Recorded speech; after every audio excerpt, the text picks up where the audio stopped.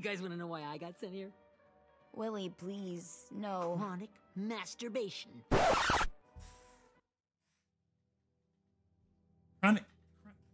Chronic what? Lord have mercy, I'm about to bust. If that's why he's here, I might have to go there. Watch out!